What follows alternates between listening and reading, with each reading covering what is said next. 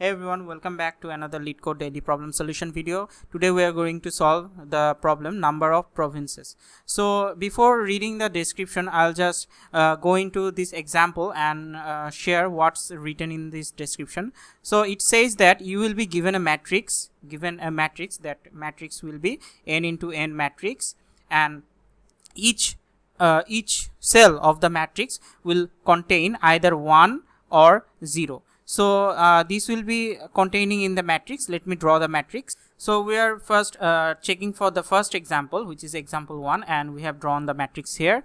And it says that the matrix is n by n. So uh, for this case uh, yeah it will be 0 1 and 2 the index that's uh, shown here are uh, like from 1 to 3 so we will be showing here for uh, understanding perspective we will be showing 1 2 3 and this direction also 1 2 3 so this is a matrix and uh, this is how the graph relations are shown. So in the data it is shown that it is 1 1 0 then 1 1 0 then 0 0 1 so what this data actually shows is that uh, these are the nodes. These are the nodes. So there are one node two node and there are node number 3 okay? So there are three nodes. What happens is one is connected with one. So here in the matrix cell one means connected and zero means not connected. So one is connected with one. So it is shown there that one is connected with one. Then for one and two we see one. The cell value is one. So one is also connected with one is connected with two and as it is not a uh, directional matrix it is an undirected un undirected graph. So as 1 and 2 are 1 then 2 and 1 is also 1 so 2 and 1 is also connected. But 1 and 3 1 and 3 is not connected. So 1 and 3 is not connected. Then for 2 we can see the same. We can see 2 and 3 are not connected. Then for 3 we can see the same. 3 uh, is not connected with anyone. 3 is connected with itself now what this problem says that we need to return the total number of provinces. So what is a province? In this example in this case in this problem uh, we can see that the province is uh, when two cities are connected two cities are connected this can be identified as a province. And this one itself is a province. So how many provinces do, did we have? We have this one as one and this one has the second. So total number of provinces are total number of provinces are 2 total total equal 2 provinces 2 provinces in this graph. But what about this one? What about this example? In this example 2 we can see none of them are connected. So each individual node is a province. 1 2 3 that's why we have this answer here. Now let's think about how we can solve this. Uh, as if you seen the previous solutions or previous problems you can think this type of graph problem you can reduce them to DFS BFS or you can also consider union find so when there are like provinces there are problems like provinces or there are island problem where some of the groups need to connect themselves and we need to identify the disjoint sets or disjoint groups you can see from here that we are actually identifying the groups disjoint groups. So in this case in this case when we are identifying disjoint groups or isolated island island okay? So disjoint groups are island in these cases we will consider dfs and mostly mostly we will consider we will try using union find union find. So i'm going to solve uh, this problem with two methods. One is union find and another is dfs so let's first consider the union find method. So how we can solve this problem using union find so you can see from my previous videos that uh, you when we are considering union find we will first mark each node. We will first mark each node each node. And we will have a parent array parent of i. Parent of i equal i. At first each parent each one will con mm, each one will point to itself. Okay. And we should keep another another array that will contain the rank. So what is the rank? Initially all of them has rank 1 now what we will do is we will actually traverse this matrix and you can see that a matrix traversal takes n square time. So for each row and column we will uh, iterate. We don't check for 1 and 1 because they are the same. Then we are checking for 1 and 2 so we can see they are connected. So what we will do we we will call uh, as they are connected we will call our make union and we will pass in 1 and 2 we will first find the parent. So the parent of 1 is find 1 find we will call another method to calculate the parent which is find 1 and then another method for parent 2 we will uh, find 2 so let's just check in what our find method is uh, looks like. So our find method looks like find of x looks like this that we will uh, iterate while x not equal parent of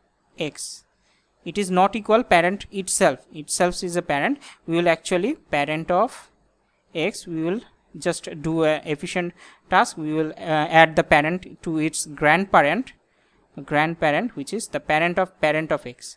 So we will add this. Uh, i will describe this later if you don't understand. Then we will add x equal parent of x okay i'll discuss uh, this lot more clearly in the code. So this is how the while loop will while loop will uh, it, uh, iterate evaluate and then wh when the loop breaks we will return the x. So this is how our find method uh, happens. So this is how our find method is processing and uh, calculating or finding the parent so find parent is the find parent method. Now when we call in find 1 we see that 1 is the parent of itself. So it will return the parent of 1 is 1 and when we call find 2 we can see that 2's parent is itself. So it will return 2 yep. now what our make union now what should we do? The parents are different. So there are two cases. Case 1 when case 1 when the parents are equal when parent 1 is equal to parent 2 in this case we will not do anything and we will just return 0 okay. Because uh, if their parents are equal they are already in a union. Right. Then case 2 so in case 2 the parents are not equal as we are seeing here that the parents are not equal 1 and 2 are not equal. So what we will consider is the ranks. Consider ranks. Consider ranks. So what will happen here? Rank of parent of 1 can be greater than rank of parent of 2 so if someone has if some node let's say this node has more rank then what will happen if someone has more rank then we will add if this case, case is happening that a parent of 1 has more rank than 2 then we will do is we will actually parent of parent of parent of 2 equal parent of 1 what we are doing here i'll just describe just let me write it down. Then rank of parent of 1 plus equal rank of yeah let me just describe it what i've written here. So let's suppose let's let me just draw an example. Let's say we have this example okay? So in this example we can see that this is the parent node and uh, this this is a group where 3's parent is 1 4's parent is 1 and 5's parent are 1 and in here there's another group where 2 is the parent and 6 is the children. 6 parent is 2 7's parent is 2 so uh, in this case we will see that the parent of 3 will be 1 parent of 4 will be 1 parent of 5 will be 1 when we look for their parent. And in this case in this graph we will see parent of 6 will be 2 parent of 7 will be node 2 now what are the ranks? What are the ranks? Rank of this one node 1 will be what will be the rank? Its rank was 1 now how many are connected to it? Itself is also connected. Itself is also connected to it. One is also connected to one. So how many nodes are connected? One two three. So how many rank it will happen? It, it will have four rank equal four. And what about this one what will be its rank? It rank will be rank of 2 node 2 will be it itself is connected to itself. So its node its uh, rank will be rank will be how many? 1 2 3 so its rank will be 3 so now when we are seeing that 2 and 1 they are connected. When we are considering that 2 and 1 one need to be connected. Now which one is the which one gets to be the parent of which one? Which one gets to be the parent of which one? The question arises. So how we will check? We will check according to the parent. As node 1 has more rank node 1 has more rank then it's more suitable for node 1 to be parent of 2 right? So let me just rewrite this redraw this uh, here. So i'm just redrawing. Now what will happen? I will just mark this and this will be the parent of node 2 right? So this will be the parent of node 2 now what we need to do? We need to update. We need to update this rank right? So what will be this rank? This rank will be 4 plus the rank of 2 that got add, added to it. So rank of 2 is 3 so its total rank will be 7 you can see from here that how many nodes are connected to it how many nodes are connected to it. Now 1 2 3 4 5 6 and itself 7 so 7 nodes are totally connected and uh, marking it as the their parent. So that's why we are increasing the rank. That's why you can see that we are doing what? The the guy that has the node that has less rank we are moving we are doing parent of that less ranked node to its parent. So what we are doing here is we are actually writing we are actually writing we are actually writing parent of so initially parent of 2 was 2 it was in initially it was in initially it was 2 now we are just modifying it we are modifying this we are modifying and we are adding parent of 2 equal 1 because now we have a new parent. Parent of 2 has a new parent. And that's why it's actually marking to itself and that's how it's going. But what happens if what happens if our rank parent of 1 was less than or equal rank of parent of 2 less than or equal. This can happen. So what will happen is the who, who has less who has less this one has less. So we will mark its parent its parent to the higher one. Okay so less one gets the parent parent 2 and the higher one who has the max who has more greater uh, greater rank we will just update its rank. Rank of parent of 2 plus equal rank of the lower one. Who, who is lower? Here parent one. So parent one's rank. So this is how this happens. This is how this can be solved. So this is pretty much how our union find will work. And what we will do is when the parents are equal we are we already have them in an union. When they are not we don't have them in an union. We will just return 1 we are ma we made a new union so we will just return 1 so this is how our algor algorithm will work and this is how these two are added in a group and totally we can see there will be two groups. Uh, i'll just describe them in a in my code. And now uh, yeah i've discussed the uh, union find approach. Now how can we solve this in the dfs approach? So in the dfs approach it's kind of like we we will start from each node. We will start from each node. It's pretty much like the same. We'll start from each node and we will actually look for the connected as we iterate. So from here we will go to each of the node each of the node and see how many nodes are actually connected in one go. So when in one go we will look for each of the nodes and we see that 2 is connected and yeah this is connected. So we will increase our count and we will actually mark these two mark these two 1 and 2 these two as visited. We will mark this as visited right? So we will mark this as visited. So when in the second time when we actually try to iterate again we will not iterate for it so this way using the dfs approach when i sh show you the code you, you will be clear. In the dfs approach you can see that we can actually mark the mark the provinces.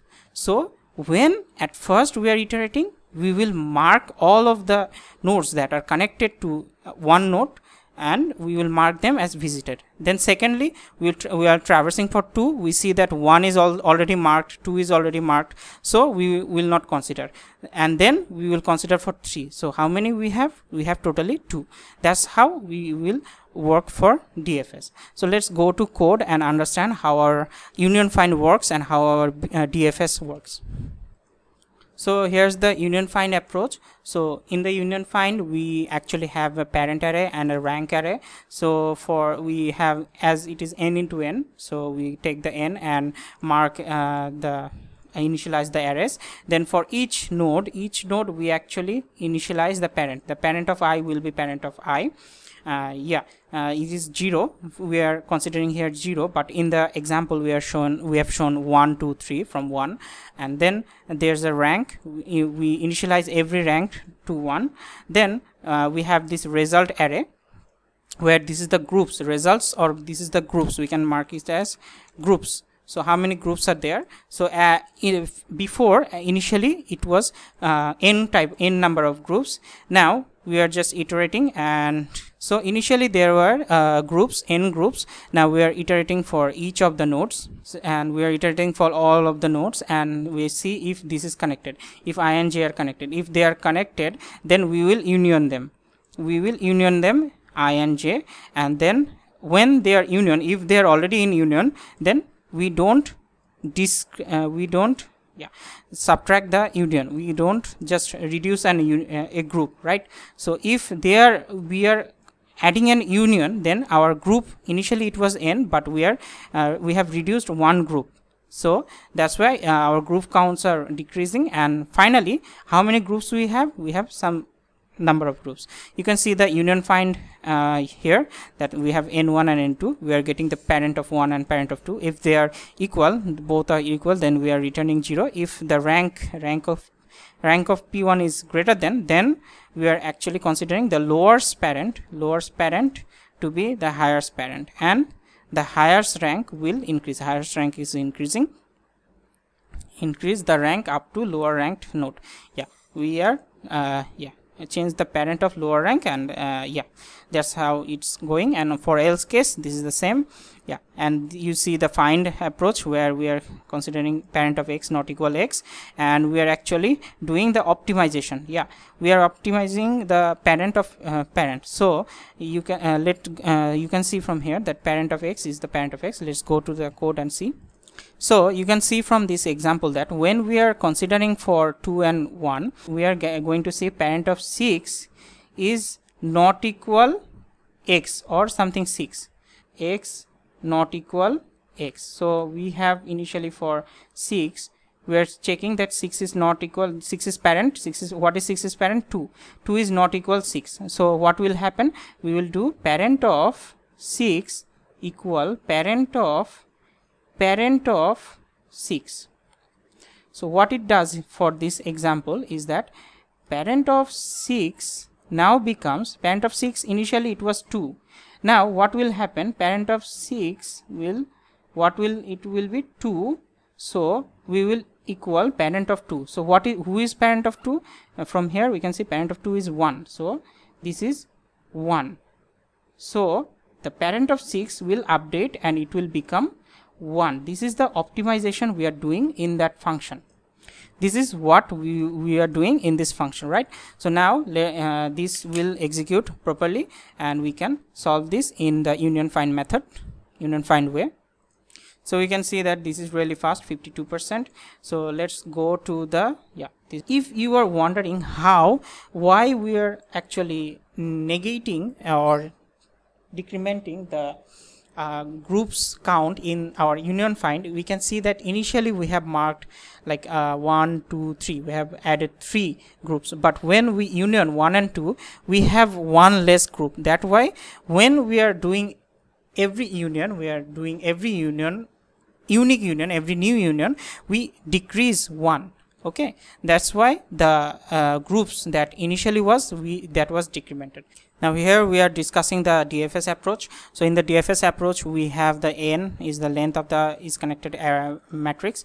Then we have the visited and visited, and for each of the uh, row, each of row, each row, we are checking if this uh, row or in uh, this node was uh, visited. If not, then we are uh, iterating the DFS.